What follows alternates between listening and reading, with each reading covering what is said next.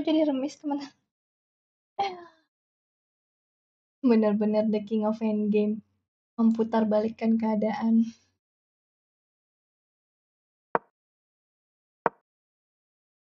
Kok jadi menang? Kok jadi menang? Kok jadi menang kok jadi menang sih? B4, B3 dong. B4, B3. Loh kok jadi menang iki piye? Lah iki piye toh?